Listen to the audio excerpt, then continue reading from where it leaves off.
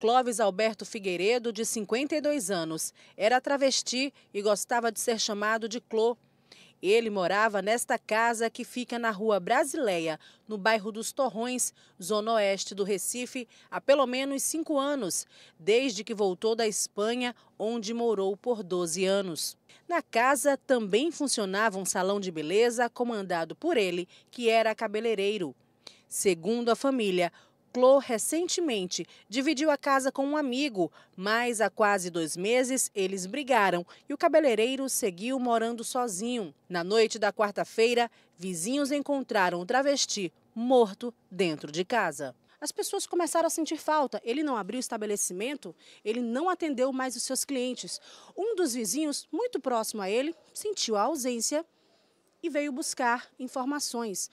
Como estava sentindo um cheiro muito forte, resolveu olhar por essa janela. Foi então que a visão que ele teve o assustou. Clóvis estava deitado na cama, imóvel, com facadas pelo corpo. De acordo com a perícia, pelo menos nove golpes de faca. É um crime de ódio, né? um crime que ele foi atingido com nove facadas, né? na região assim lateral do pescoço tal e a casa ficou fechada com um cadeado. Essa pessoa jogou a chave lá no, no cesto do lixo e, e fechou a casa por fora. De acordo com familiares, também recentemente, um ex-namorado da vítima tentou reatar o relacionamento, mas Clóvis não aceitou a reaproximação.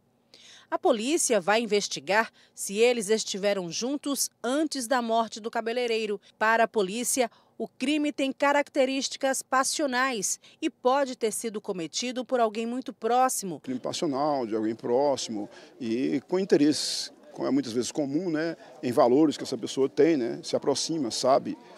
Ele, segundo a família, tinha uma conta bancária, né, tem uma conta bancária com um valor X nessa conta, valor até considerável, e sempre mantinha algum valor aqui na casa dele e, e a documentação.